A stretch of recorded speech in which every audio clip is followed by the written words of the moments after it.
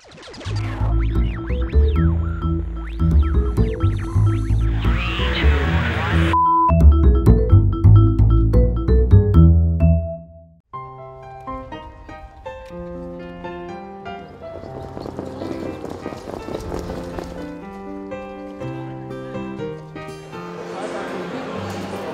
uh, komt dat van Roderick of waar komt het vandaan? Uh, het komt inderdaad van Roderick. Mijn ouders hebben die naam gegeven. Ja, dus uh, heb ik mezelf maar Rodi genoemd, ook omdat heel veel mensen het allemaal gaan afkorten. Ja, oké. Okay. En, en nou, nou ben je in uh, Canada. Hoe, hoe ben je hier beland en waarom ben je hier? Ik, uh, ik heb een Canadese vriendinnetje. ze zit daar. En nou ja, ik ben hier twee maanden geleden gekomen.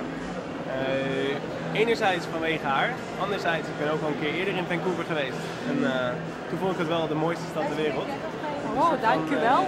Je vriendinnetje heeft zeker gezegd dat het hier een hele dure stad is. Wat ga jij hier doen? Hoe ga jij je brood verdienen hier in deze het duurste plekje ter wereld hier? Uh, ik heb mijn baan opgezegd in Nederland om hier te komen. Ik heb natuurlijk wel heel veel opgespaard om de eerste maanden door te komen. Maar, wat ben je van beroep? Uh, ik was projectmanager in Nederland, maar ik ben redelijk uh, vers van de universiteit. ongeveer zeven maanden geleden ben ik ja, geslaagd voor mijn, voor mijn masterdiploma.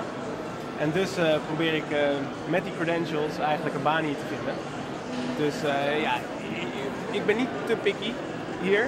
Want ja, je moet natuurlijk ook gewoon kansen met beide handen aangrijpen. maar het liefst zou ik inderdaad of iets doen met projectmanagement of iets in de marketing. En ga je een jaar blijven of ga je langer blijven? Weet je dat al? Um, voorlopig mag ik maar voor één jaar blijven.